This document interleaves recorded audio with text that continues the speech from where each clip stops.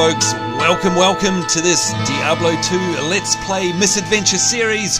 You're Sambo, and joining us as always on our Misadventure series is Tallahassee, aka Screaming Donkey, or aka in this case, Cassie Hack. Good evening, kind sir. Hello, hello. How are you? Oh, I'm good. I'm so excited to be here, and I know you are. I think you're a bit of a fan of Diablo 2. Am I right? Yeah, it's been so long since I last played this game, though.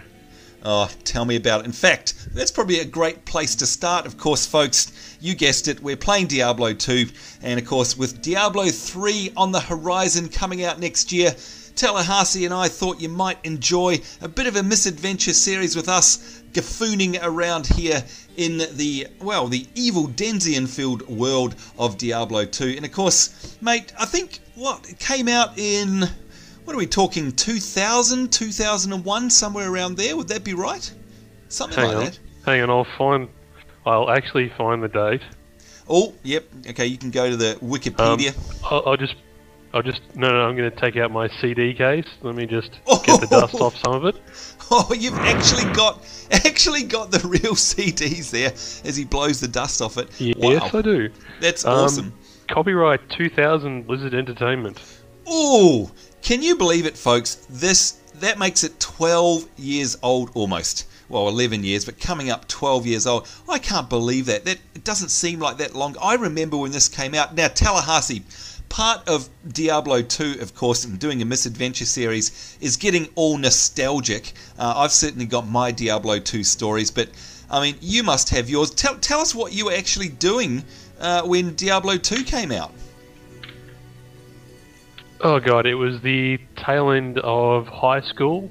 ooh ooh that's yeah, dangerous so instead of yeah, instead of doing high school, I was doing this. It So- explains why I do what I do. I was just going to say it's probably the reason both of us are uh, in the position we are. Uh, these days, we can blame it all on Diablo 2. Seriously, though, I mean, I'm sure we're not the only one. We- I mean, when this game came out, it was absolutely groundbreaking. I mean, I'd never played a game like this in my life before. I'd played RPGs before. In fact, I'd played all the early BioWare stuff. In fact, before they were called BioWare, back when they were called Black Isle Entertainment, I think is the company. Uh, games like Planescape, Torment, Icewind Dale, Baldur's Gate. Were you ever into those sort of games? No, I never played them. Yeah, no, a lot of people didn't actually, but um, a lot of people who didn't play those games certainly played this one when it came out. I mean, it was like, I mean, you know, I think a lot of people referred to it back then as digital crack. I mean, seriously, can you try and even estimate how many hours you would have put into this game back then? No, I, I, I really don't know how many hours I put into it. But would have been like All I know is that it's it's pretty much the only game I played for about two solid years. Yeah, okay. Well, there's your answer, folk. And you're probably talking about thousands of hours. Uh, I'd be the same. By the way, it doesn't mean I'm any any better at it. Um, I was never never up there terrible. in the I can't remember anything about it. Yeah, it's been a long time, um, and it's amazing actually looking at the game now. Uh, all the memories sort of flood back, but it's amazing how. I mean, look, it looks crude. There's no doubt about it uh, by today's standards. And folks, you know, you'll probably notice that the YouTube video is a bit misshapen and, and it looks a bit pixely and all the rest of it. But you know, back back in the day, Tallahassee. I mean, the graphics were This outstanding. is cutting edge. Yeah, it was cutting edge.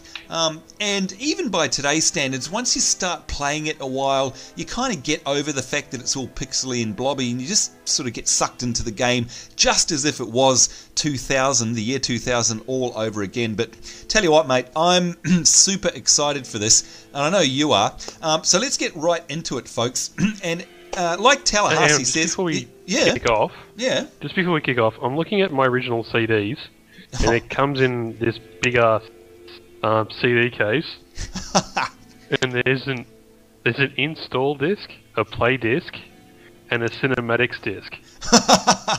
oh And- my lord. On that disc, it says for Windows 2000, 98, 95, and NT, and Macintosh. Ah, now that's a really good point. Actually, you know what? Pretty much most of those operating systems are obsolete now, but isn't it amazing? Uh, you know, whether you're a Mac fan or not, Blizzard have and always will probably, and still do to this day, always release their games dual format. I mean, if you go down to the shop now and bought, um, well, gee, let's stick with the era, uh, something like Warcraft 3, you'd be able to throw that in your Mac and it would play natively. Right through to, well, StarCraft 2 and World of Warcraft. They're Mac native clients as well, aren't they?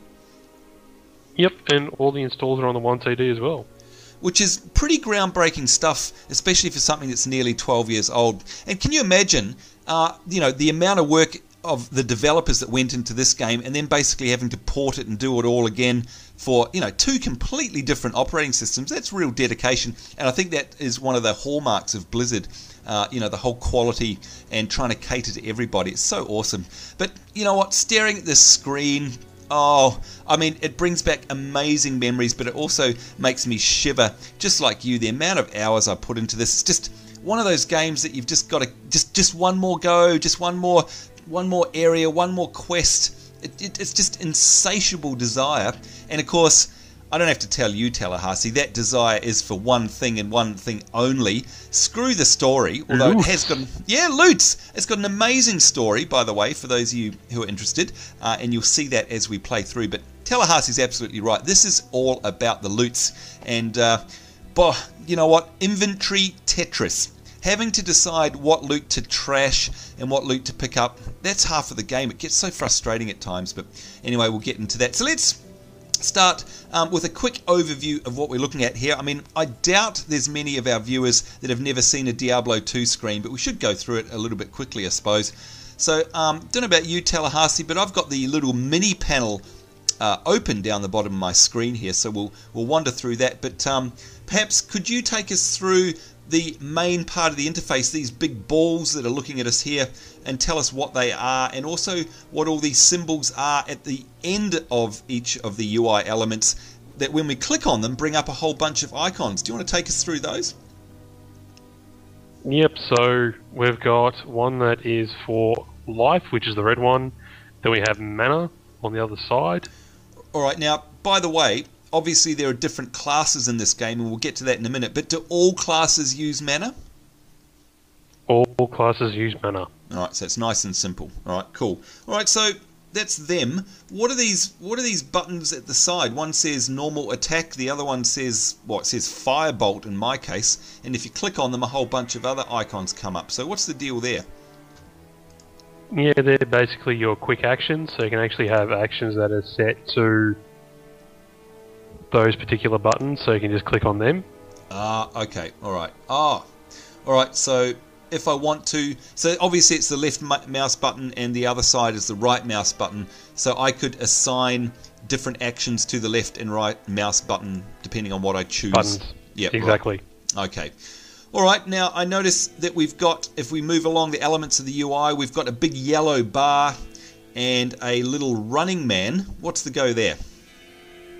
Yep, that's your stamina, so you can go ahead and sprint. So you can either press control down and click where you want to go, and that'll make you run, or you can press R. Oh, okay. and then click where you want to go, and that'll that'll actually keep run on. Ah, okay. So there you go, folks. Hopefully you can see that on the YouTube video. I'm toggling by pressing R, and that's obviously going to toggle us between walk and run. And so you're saying that that stamina bar uh, presumably that's going to wear down. Mine says 74 out of 74. Being a different class than you, is yours a different number? Yeah, I've got 97 stam. Okay, so and that'll make sense in a minute, folks, when we describe our classes to you. But basically, I can run around and that bar will drain, I presume, and once it's drained, I have to wait for it to recharge before I can run again. Yeah. Yep. There's yeah. Uh, also, there's two buttons that you missed out on. So one is for new stats. Oh, yep. Here we go. So when you level up, it'll bring up your little panel, and you can go ahead and fill in your stats. Okay. So it's your character screen if you press C. All right, let's press C. There we go. All right, so that's a good time to talk about our classes, I guess. Um, so you can see here, I'm Sambo NZ. I am a sorceress, which is effectively a mage and I'm level 1, I've got 0 experience, and you can see here we've got stats of strength, dexterity, vitality, and energy. And in my case, you can see that the strength translates to attack damage and a firebolt damage, and we'll see those numbers go up as we add stats. Here's my stamina, my life, and of course my mana, and then down the bottom, resistances. So, Tallahassee, just talking about stats, I'm a sorceress. I'm uh, going to assume that one of my main stats that I'm going to want to put points into is energy. So I've got a nice big mana pool and I'm imagining strength as well because strength is actually powering my firebolt. What um, I'm a sorceress, so I'm a ranged caster. Tell us about your character here, Cassie Hack. What class are you, and what are your stats that you're going to be concentrating on? Okay, for me, I'm going to be putting enough strength in so I can do enough damage, but I'm also going to be putting enough into dexterity for my defense. Okay, right. So weapon block will block all the time, and also then I'm just going to be stacking vitality. All right, so you can see there, folks. So that way I have a big health pool. Yep. So we've got a couple of different styles. So what's your actual class, by the way, or what's it called? Assassin. Assassin. Right now, folks, what you may not know is that we are playing with the Lord of Destruction expansion, and of course, most people that play Diablo 2 these days have that. Um, all right, help me out here, Tallahassee. We've got classes that were in the original Diablo 2. Now I'm going to start listing them off. We have had the Barbarian. I think the Sorceress yep. was also original, wasn't yep. it? Yep, the Amazon. Amazon, that's right. That was the pole. And Paladin. Right, oh yes, the Peli. The Peli. Um, now, the Amazon, she was a spear wielding uh, sort of melee fighter, if I remember rightly you could do it one. Of, you could actually do it a couple of different ways. Oh. Um, you could have her as a like ranged, so using bow and arrow. You'd also have her throwing javelins as well. Oh, okay. You could you could have her as a melee. All right, so she's really. And versatile. also, you could have her as. Yeah, you could also have her as sort of a tank as well. All right. Okay. So, um, and then of course the expansion came out, and oh, hang on, where was the necromancer? Was that in the original or is that an expansion? I think that was. No, he was in the original. Sorry. Yep. Sorry, I missed him. Yeah, no, so did I. That's right. So Necromancer, of course, uh, that's a pet class that raised the dead. And then the expansion came out, and we had the Druid, which could have pets. And then I think your class as well is an expansion character, isn't it? The um, that's right. The assassin. I mean, so the thing is that always got me, and we were talking about this before we started filming, you think of an assassin as a rogue, but correct me if I'm wrong, your starting equipment is actually a shield and a one hander, is that right? Yeah, it is, which is a bit odd. Okay, so you can actually be, which by the way you always are when we're playing together, and it's fantastic, you can be a bit of a tanky character as well as a DPS. Would that be a fair assumption? That's right. I mean, I don't necessarily need to have the shield. Um, right. With with claw block, you can get it up fairly high, which means that you don't actually need a shield. Right. You can actually use the two one handers to block. Okay. Oh, and okay. that and that sort of mitigates all damage. Well, gee, that's nice. Which that's right. ridiculous. Yeah, that's right. If it's there, take it. And of course, what we're talking about here, folks, with all these different uh, types of play styles that you can have with one character. If I close my character screen here and then we hit T to bring up the skill tree, this will look familiar to you guys if you've ever played a game like WoW or even Rift or anything like that. It's basically, Tallahassee, would you say this was a, a good approximation? This is basically like a talent tree that we're looking at here, isn't it? Yeah, that's exactly what it is. I mean, when you really think about it, this you can draw a direct line from Diablo 2 to any MMO. Yeah, yep. I agree with you. And it's basically so, it was especially you, with all the systems that are here. Yeah, definitely. I think it definitely started a style of character development and character building in MMOs, uh, and it came from here. And for example, going to have a look at my one here. I mean, I've got I've got three trees and they, you know, again, folks, when you level up, just like any game, and you'll see it once we get going, you know, you earn talent points, or I think they're called skill choices. I can't remember. We'll call them talent points. And of course, we can start putting them into these trees and building down the tree, is the way you go in Diablo. And if I look at my three types of builds, just like Tallahassee said, you know, we can really specialize in different ways. Now, I'm basically a mage, so I can either go down the cold spells route here, and that's going to give me sort of things like you can see there frozen armor, ice blasts, shiver armor. So it's a very defensive slowy sort of build. Or I can go lightning, and that's going to give me things uh, like charged bolts, static fields, uh, novas, lightning, all that sort of thing, chain lightning. Or, which I think Tallahassee is the way I'm going to go, by the way, a good old fire mage here, and you can see I've got fire bolts, uh, I've got inferno, I've got blaze, fireballs, fire walls, all that sort of thing. Um, so depending on the playstyle that you want to do, you can really make that choice. And I'm going to go fire. Now, Tallahassee, what are your three? Mine are cold spells, lightning spells, and fire spells. What do you get as an assassin?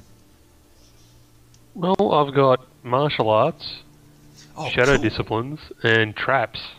Whoa. Okay, so again, just judging by their sound, three totally different um, styles of play. I'd imagine. I mean, traps is pretty obvious. Obviously, it's going to be um, heavily based around setting different types of traps. Martial arts sounds like it's exactly that. Very melee focused, would it be? Yep. So heavy melee focus. Um, it's all like charge up skills. Right, right. Uh, what are some of the names to come of to a the... big finisher? Oh, oh, is it? Oh, okay. So is it one of those so, things like Tiger Strike, uh, yeah. Dragon Talon, Dragon Claw, Cobra Strike? Um, last one is called Phoenix Strike. That's like the very bottom of the tree. Right, right. All right, getting the idea. So it's like a very sort of Oriental martial art type style with the finishing moves. What's the the shadow one yeah. called again? Shadow disciplines. So what are what are some examples of some of the talents that you can get, or some of the moves you can get in there? I honestly don't remember. Well, there's claw mastery, so that'll improve damage with claws, which is what I've got equipped at the moment. Oh, yep. There's things like burst of speed, uh, weapon block, which is one that I'm going to be specking into. Yes, yes. Uh, Shadow warrior. There's shadow mastery. There's venom, which is another area that I want to get into as well. Yep, yep. All right. Um, there's mind blast. There's psychic hammer. Mind blast. That's a, um, ended up in WoW that one. Um, all right. So again, yeah. Um, you can tell there, depending on well, what. I think a lot of them did. Yeah, I, I, I agree. I mean, this game spurned so like many, what... so many industry tropes, didn't it? It's amazing. Yeah, there's a talent here called Cloak of Shadows.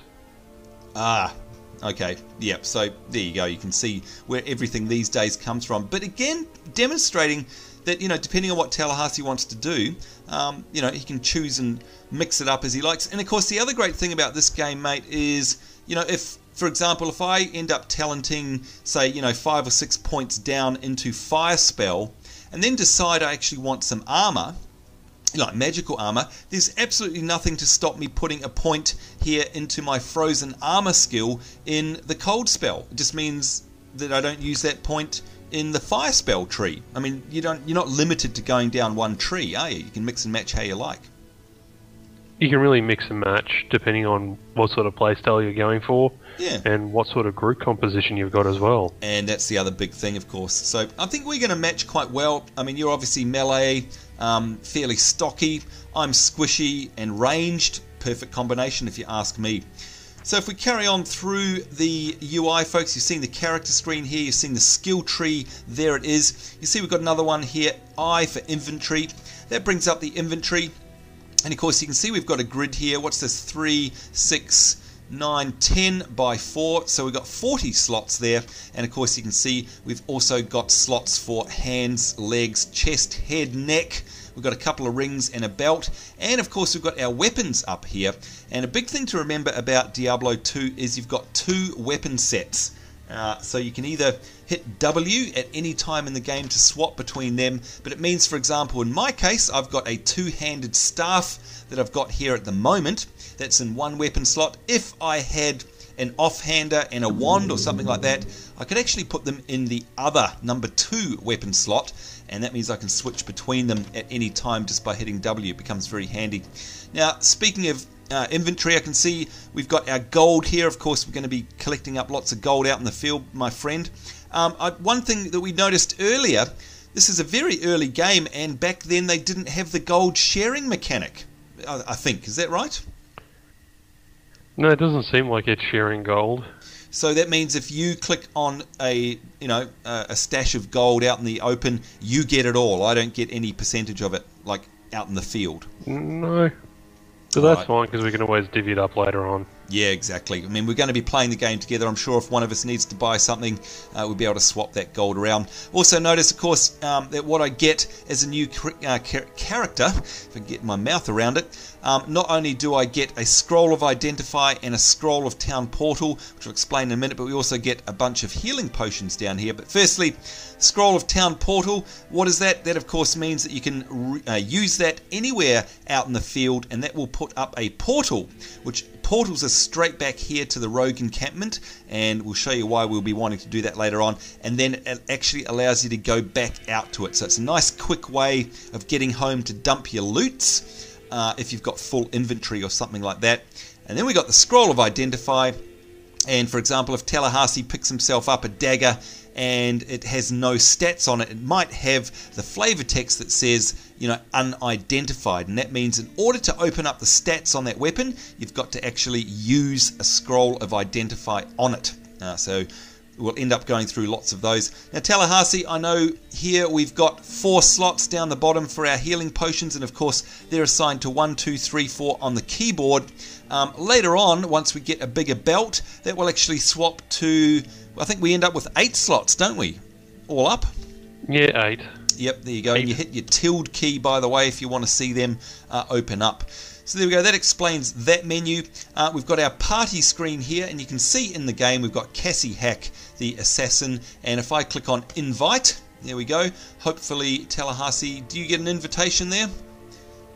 There we go. I did. There we are. And now somehow I've managed to turn off our portraits. Cassie Hack has joined your party. Now I just want to go into options because I've forgotten the key that it uh, is. Z. Oh, is it Z? Thank you, thank you. Tallahassee's the expert. There it is. You can see we can toggle. We've got Cassie, and I think that green bar above your head is your health. So of course that's very important that we keep an eye on our party member. Now we've also got auto map on in the uh, top left hand corner there and that always shows where Cassie is and shows the layout of the land and of course any important NPCs or any important areas on the map that we need to know about like dungeons. And then finally we got M for our message log. Now the way you chat with your partner if you're not on voice chat with them you just simply hit enter and you can see it's brought up a little entry screen there and we can just literally type hello Tal hit enter, and you can see it appears up the top left here. And if he writes back to us, it will just appear up the top left as well. There we go. Get on with it, he says. Good old Tallahassee style. Now, there's one more thing we need to know about, and that is Q, which is our quest log. Currently, we don't have any, but we'll be absolutely getting them as we move on. All right, so you know how it works, folks. You click on the ground, you can see there we're automatically walking. As Tallahassee mentioned, if you hit R, we're now auto running and that will drain our stamina bar. Now if I click on Tallahassee, there you go, you can see I'm asking currently the other player to trade. So for example, if I wanted to give Tallahassee my weapon, oh look at that, he's actually got something for us. Oh thank you my friend. Oh look at that, he's got a mana pot for us as well. Gosh, it's nice having friends. I can accept that and I can hover over it and see that's an eagle orb and it's a one-handed weapon. So I'm going to be able to put that in my alternate weapon slots. We'll accept that trade. Thank you very much, my friend. Appreciate that.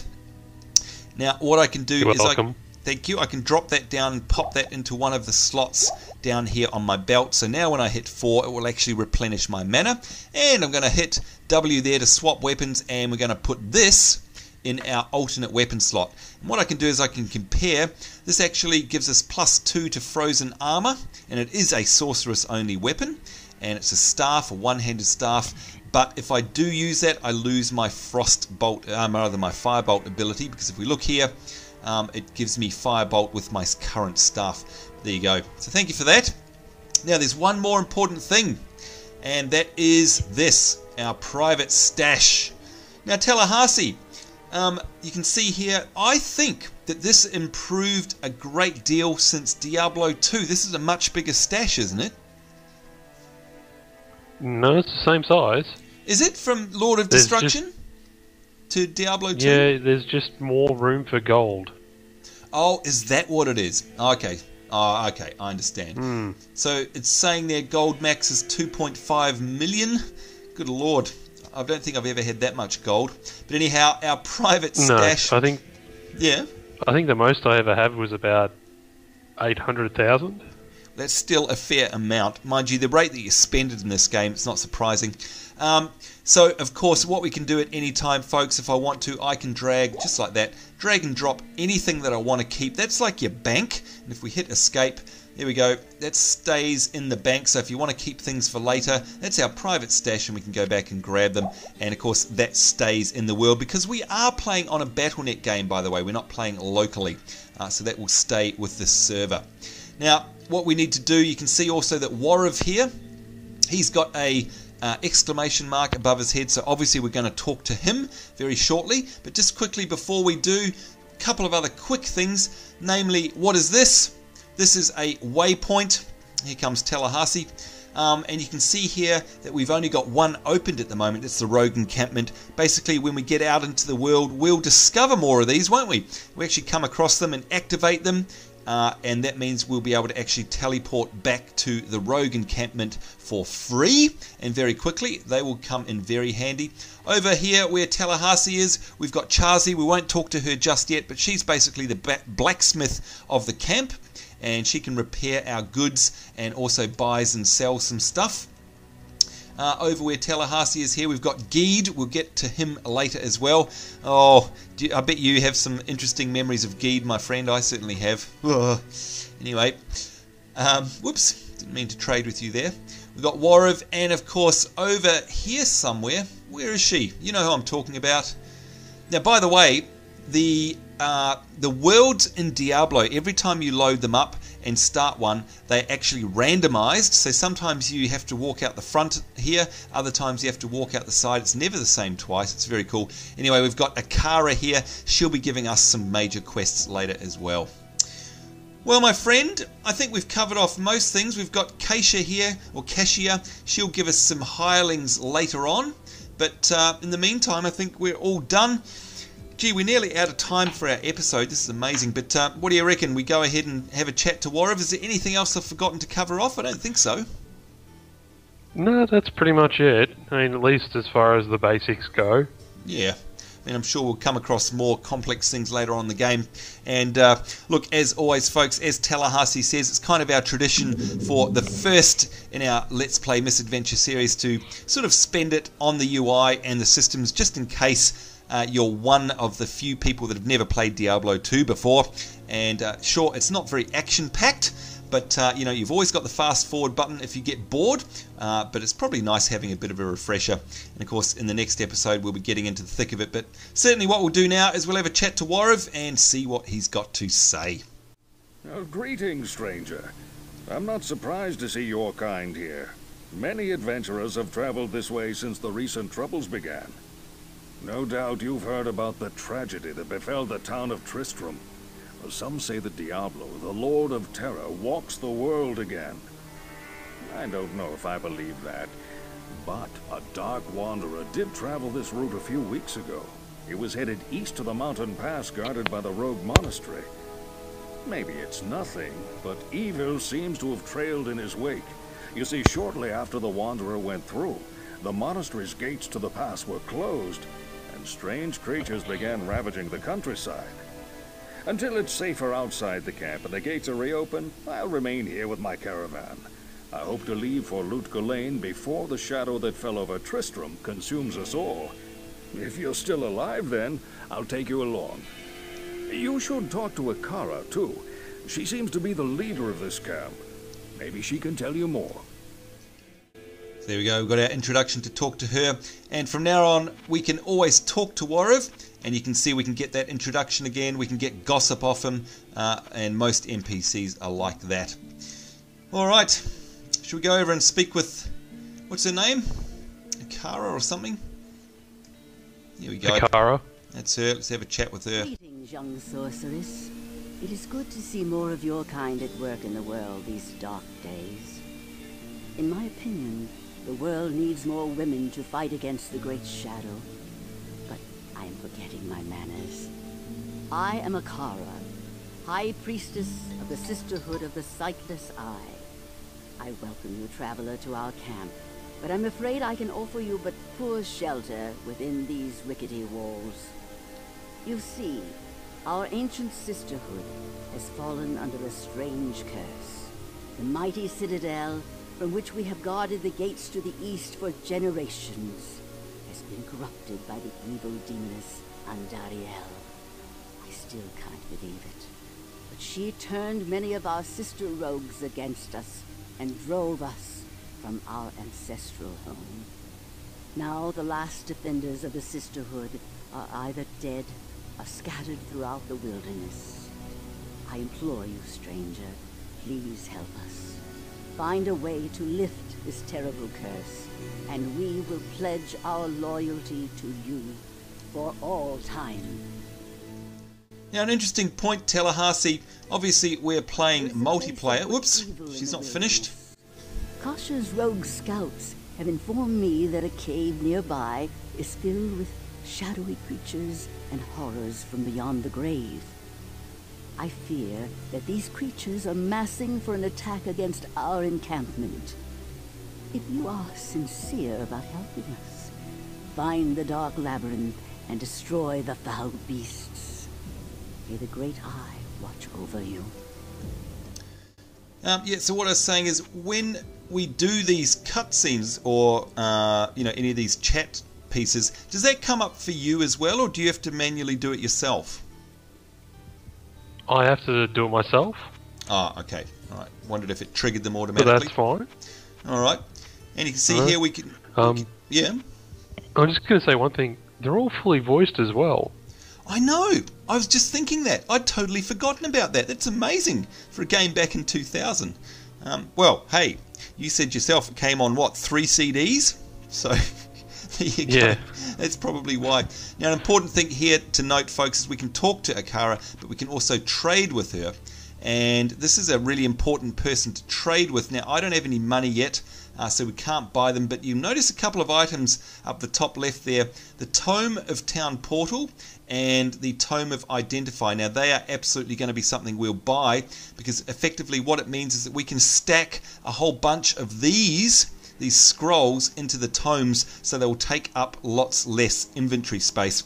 And I'm sure, as Tallahassee will tell you, um, inventory space is an absolute premium in this game. You can see also we've got keys. There are chests out in the world that you can open with keys, so you can buy keys. And we've got thawing potion, antidote, and stamina potion.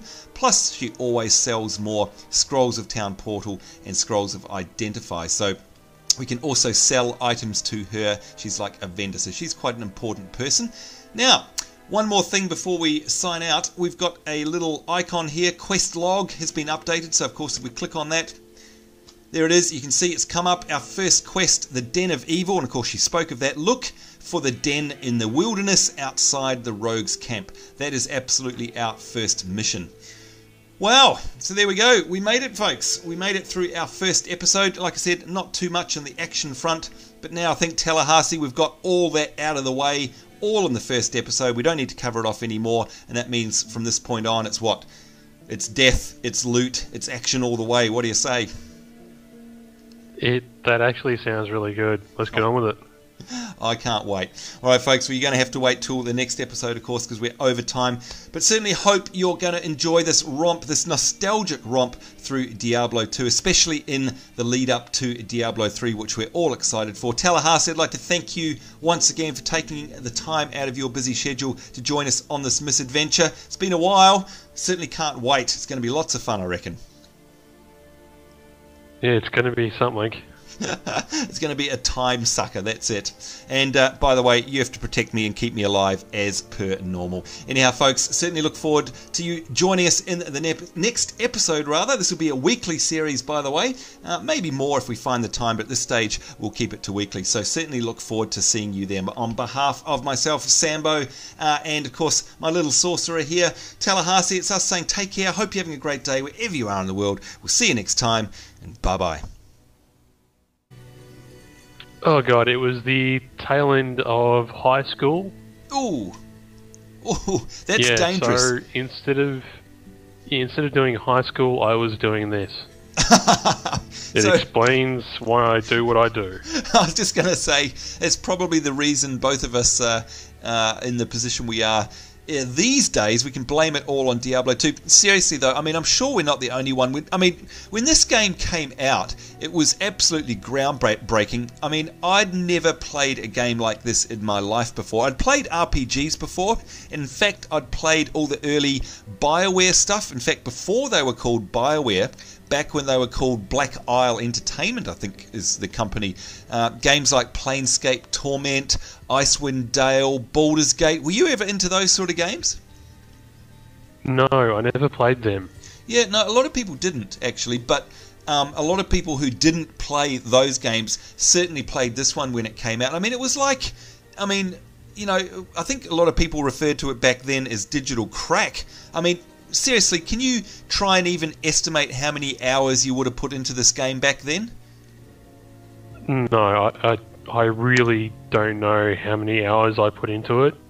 But would have been like All I know is that it's it's pretty much the only game I played for about two solid years. Yeah, okay. Well, there's your answer, folk. And you're probably talking about thousands of hours. Uh, I'd be the same. By the way, it doesn't mean I'm any any better at it. Um, I was never never I know up I'm there terrible. in the I can't remember anything about it. Yeah, it's been a long time, um, and it's amazing actually looking at the game now. Uh, all the memories sort of flood back, but it's amazing how. I mean, look, it looks crude. There's no doubt about it uh, by today's standards. And folks, you know, you'll probably notice that the YouTube video is a bit misshapen and, and it looks a bit pixely and all the rest of it. But you know, back back in the day, Tallahassee. I mean, the graphics were This outstanding. is cutting edge. Yeah, it was cutting edge. Um, and even by today's standards, once you start playing it a while, you kind of get over the fact that it's all pixely and blobby, and you just sort of get sucked into the game just as if it was 2000, the year 2000, all over again. But tell you what, mate, I'm super excited for this, and I know you are. Um, so let's get right into it, folks. Recharge before I can run again, yeah? Yep, there's yep. Uh, also, but there's two buttons that you missed out on. So one is for new stats. Oh, yep. Here we go. So when you level up, it'll bring up your little panel, and you can go ahead and fill in your stats. Okay. So it's your character screen if you press C. All right, let's press C. There we go. All right, so that's a good time to talk about our classes, I guess. Um, so you can see here, I'm Sambo NZ. I am a sorceress, which is effectively a mage, and I'm level one. I've got zero experience, and you can see here we've got stats of strength, dexterity, vitality, and energy. And in my case, you can see that the strength translates to attack damage and a firebolt damage, and we'll see those numbers go up as we add stats. Here's my stamina, my life, and of course my mana, and then down the bottom resistances. So, Tallahassee, just talking about stats, I'm a sorceress. I'm going to assume that one of my main stats that I'm going to want to put points into is energy. So I've got a nice big mana pool. And I'm imagining strength as well because strength is actually powering my firebolt. What um, I'm a sorceress, so I'm a ranged caster. Tell us about your character here, Cassie Hack. What class are you, and what are your stats that you're going to be concentrating on? Okay, for me, I'm going to be putting enough strength in so I can do enough damage, but I'm also going to be putting enough into dexterity for my defense. Okay, right. So weapon block will block all the time, and also then I'm just going to be stacking vitality, All right, so you can see there, folks. so that way I have a big health pool. Yep, so we've got a couple of different styles. So, what's your actual class, by the way? Or what's it called? Assassin. Assassin. Right now, folks, what you may not know is that we are playing with the Lord of Destruction expansion. And of course, most people that play Diablo 2 these days have that. um, all right, help me out here, Tallahassee. We've got classes that were in the original Diablo 2. Now I'm going to start listing them off. We have had the Barbarian. I think the Sorceress was also original, wasn't yep, it? the Amazon Amazon, that's right. That was the pole. and Paladin. Right. Oh, yes, the Pelly. The Pelly. Um, now, the Amazon, she was a spear wielding uh, sort of melee fighter, if I remember right, that have never seen a Diablo 2 screen, but we should go through it a little bit quickly, I suppose. So, um, don't know about you, Tallahassee, but I've got the little mini panel uh, open down the bottom of my screen here, so we'll we'll wander through that. But um, perhaps could you take us through the main part of the interface, these big balls that are looking at us here, and tell us what they are, and also what all these symbols are at the end of each of the UI elements. That when we click on them, bring up a whole bunch of icons. Do you want to take us through those?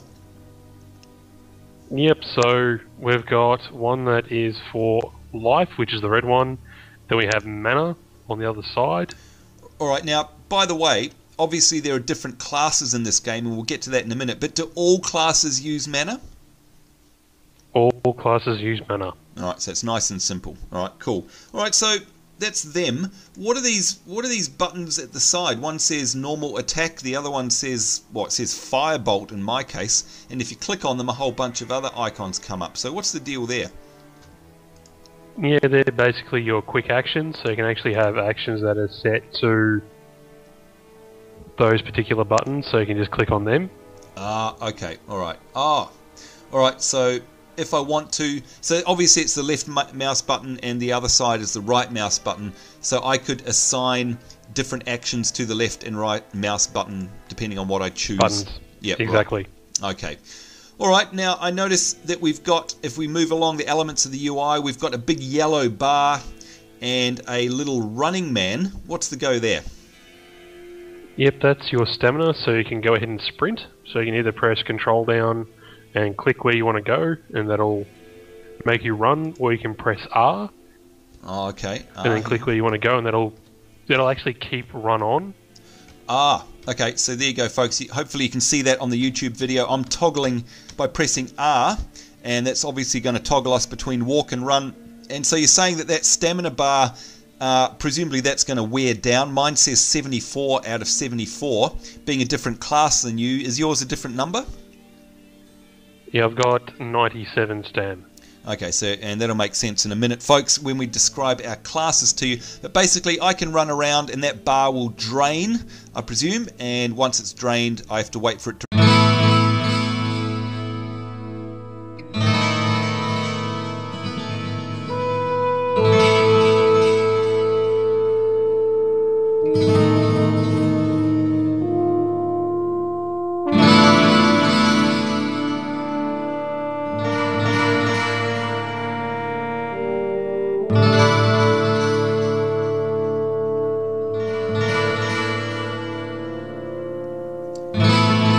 That's right, folks. Welcome, welcome to this Diablo 2 Let's Play Misadventure series.